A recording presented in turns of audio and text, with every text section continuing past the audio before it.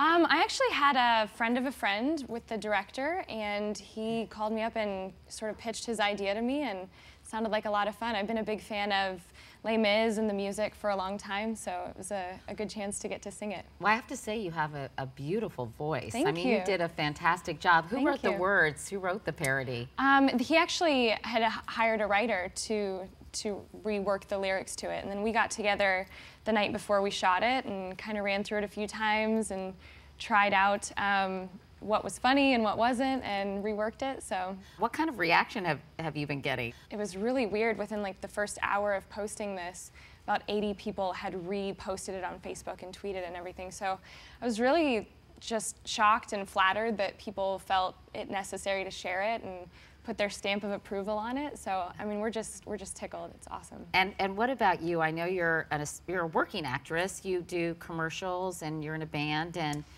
what Um, other things have you been doing? Yeah, I just had a film come out uh, this last fall called The Collection. It's a horror film. So we're kind of gearing up for DVD release. And since you, you, this video has gone viral, have you gotten many calls from agents or people who want to cast you in anything? Because I'm hoping there's a silver lining to this. There's been, I mean, it's all it's all silver lining, but there's been a lot of good momentum. Um, um, it's great to see how many people have seen it on YouTube, but um, there's a lot of people in the industry. It's it's so topically relevant with our culture, but also within the industry. So it's been it's been really good. I couldn't have I couldn't have asked for it honestly. I didn't see it coming. Well, you did a fantastic job, and I know you're a fan of hers, so I you're am, hoping yeah. that uh, that she'll give you two thumbs up for it, and Yeah.